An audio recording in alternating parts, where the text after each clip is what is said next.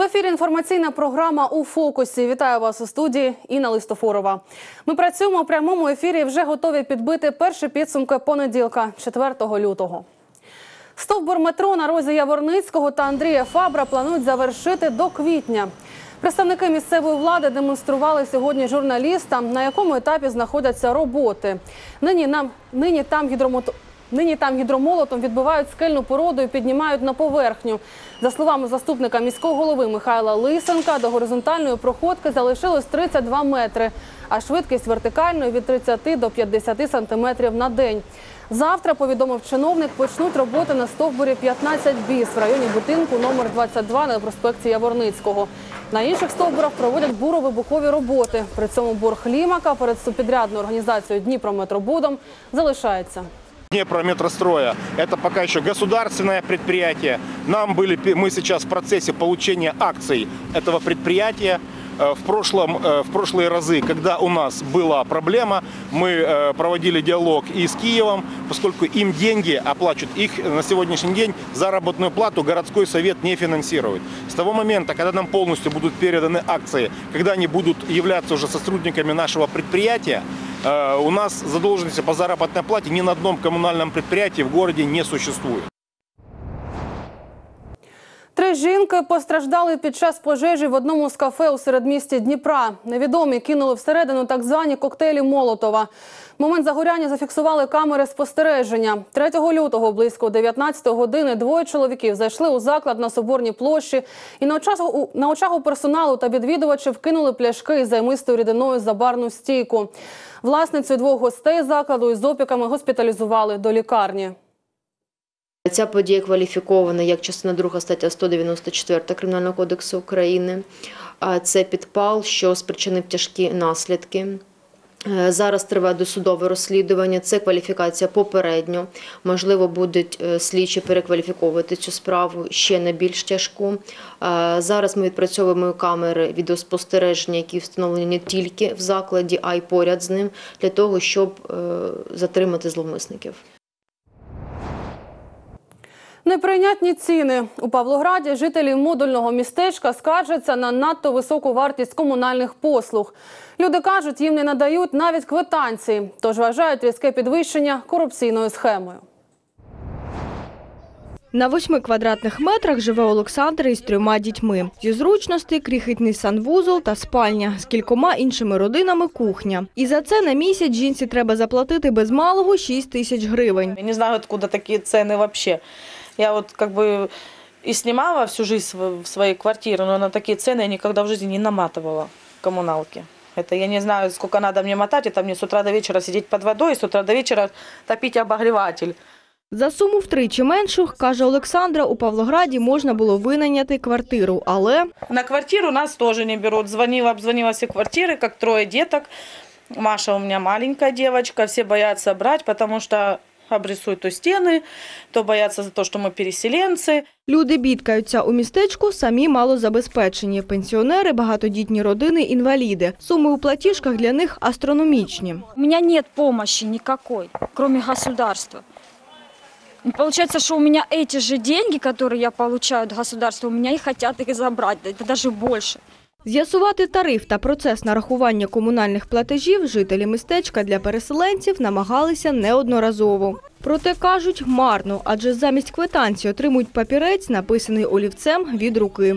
Ни печати, ни росписи, ничего нет. Жителі містечка вважають, коріння проблеми у тому, що воно зареєстровано як юридична особа. Если обыкновенное население, которое сейчас живет в своих домах, в своих квартирах, они платят 100 коэффициент. В общежитиях 150, а нам 300 почему-то поставили. Натомість у Павлоград житлосервісі наполягають, форма реєстрації тут ні до чого. Тариф однаковий по всьому місту, а платежі зависокі, бо Э, За 2018 год у нас получился за год э, вытрат по домикам 3 миллиона. Полтора миллиона оплатил местный бюджет, а полтора миллиона переселенцы сами оплачивали. Ну а в этом году приняли решение депутаты, потому что денег мало в казне там. І додають, насправді цього року переселенці платили в половину менше, ніж павлоградці. Різницю покривав міський бюджет. Проте так тривати більше не може. Очень много наматывает. За прошлый месяц 191 тысяча 081 киловатт. Это на 321 тысячу. И вот эти 321 тысяча разбрасываются на каждого человека. Тож платити таки доведеться по повній, кажуть комунальники. А щоб платіжки були меншими, ретельніше економити. Іншого виходу наразі немає. Інна Таранець, Андрій Лисенко у фокусі. Долучитися до клінічних досліджень з лікування онкологічних захворювань мають можливість жителі Дніпра. Проводять їх у міській клінічній лікарні номер 4 За словами доктора медичних наук Ігоря Бондаренка, наразі здійснюють експериментальні програми з проктології, ендокринології, урології та гематології. Щоб стати учасником дослідження, потрібно виконати низку умов, про які можна дізнатися на сайті клініки. Пацієнтів на останніх стадіях хвороби до програми не включають. Что люди лечатся пустышкой, поэтому это неправда. Плацебо только бывает в 2-3% исследований, не более. А на самом деле 98-99% исследований с реальными высокотехнологичными средствами лечения. На сегодняшний день наши возможности использованы, наверное, процентов на 70. Мы могли бы помочь гораздо большему количеству людей. Допоможи собі сам. У Дніпрі містяни самотужки взялися латати дірки, що утворилися на новому мосту. Автомобілісти міста вкрай недоволені якістю дорожнього покриття на переправі, про що свідчать чисельні дописи у соціальних мережах. Ями настільки великі, що не витримують не тільки колеса, але й ходові частини машин. Тим часом у міськраді кажуть, ямковий ремонт зроблять незабаром, але точних дат не називають. А поки що рятувати свої автівки від ушкодження водії намагаються власними силами. Эти работы у нас появится возможность выполнить ориентировочно со среды, когда у нас впереди запас будет хотя бы три сухих дня. Если вы помните, на прошлой неделе еще у нас был и лед, и снег.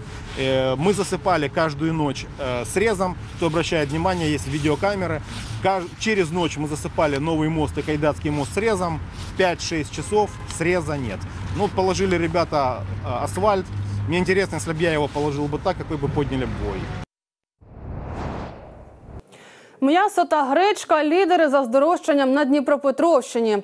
Як показав моніторинг споживчих цін у регіоні, гречана крупа додала у вартості 12%. Ціна на курятину збільшилась на 13%, а от яйця навпаки подешевшали на майже 7,5%. На думку експертів, це може бути пов'язано із монетизацією субсидій, що стартувала в Україні з 1 січня 2019 року.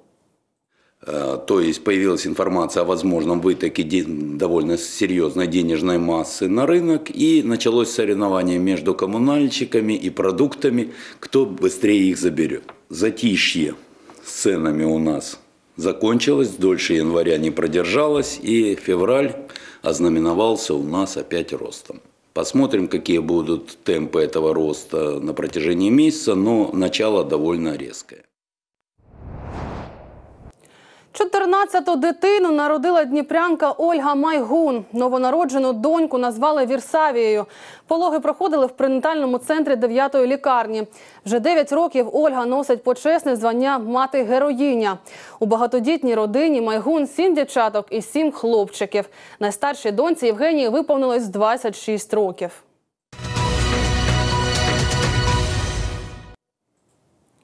Символ розстріляного відродження до чергової річниці пам'яті у Дніпрі широкому загалу показали документальну стрічку про відомого українського письменника Валеріана Підмогильного.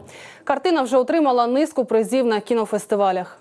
Таких людей знають по світах, а ми іноді навіть не знаємо, які знамениті люди власне були і є на нашій землі. І от тоді постала постать Валеріана Підмогильного, було створено цю стрічку. Так как это эм, документально-игровой фильм, то есть какие-то элементы были реконструированы, какие-то инсталляции, работа была м, достаточно тяжелая, потому что об этом человеке э, ничего не было известно. Екскурсія з історичною лекцією про унікальну та найбільшу колекцію степових кам'яних баб в Україні відбулася у Дніпрі. Майже півсотні відвідувачів Дніпропетровського національного історичного музею імені Дмитра Яворницького дізналися про значення давніх статуй. Наша екскурсія в першу чергу присвячена поясненню кожному пересічному громадянину, кожному, хто цікавиться своїм історичним минулим, значення цієї колекції, Е, які саме періоди вона охоплює, е, яким чином жили люди, які ставили подібні пам'ятки.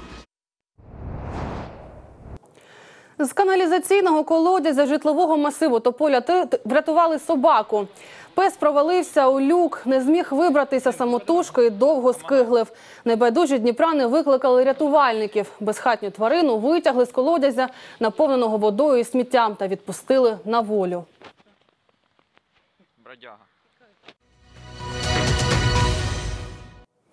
Дніпро здолав діючого чемпіона України черкаських мавп з рахунком 92-87. Це вже третя перемога Дніпря над мавпами у сезоні, але на цей раз обійти суперника підопічні Дениса Журавльова змогли лише в овертаймі.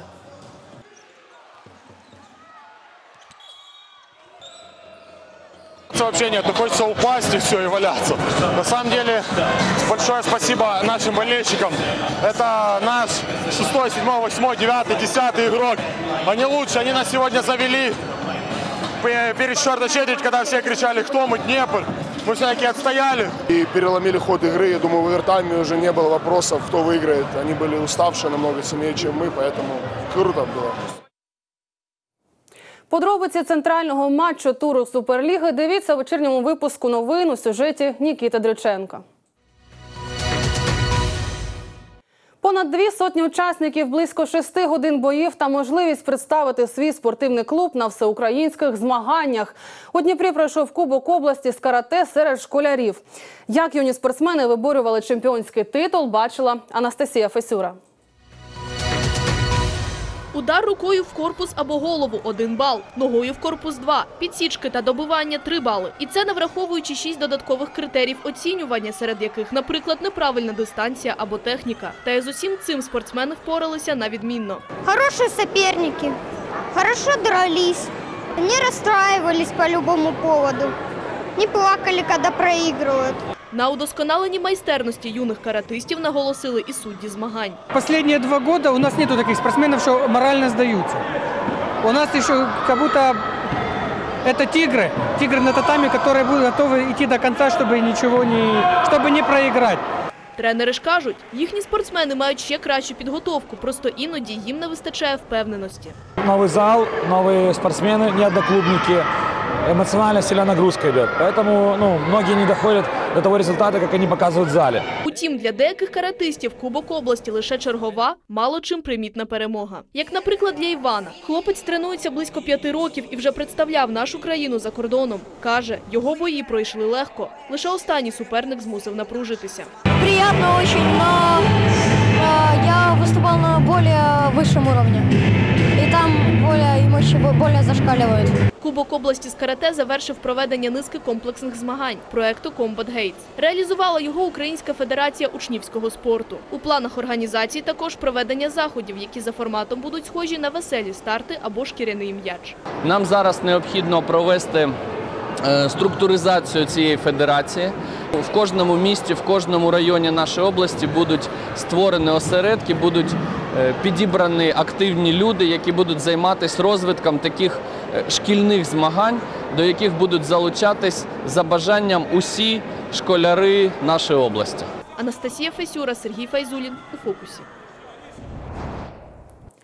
І про погоду 5 лютого очікується мінлива хмарність без істотних опадів. Вітер північно-східний 3,8 метрів на секунду. Температура повітря по місту вночі від мінус 1 до плюс 1, в день 3-5 градусів тепла. В області вночі мінус 1, в день плюс 3. На цьому випуск завершено. Більше новин о 19-й. Якщо ви стали свідком подій, телефонуйте за редакційними номерами, які на екрані. Ми чекаємо на ваші дзвінки. У студії була Інна Листофорова. На все добре.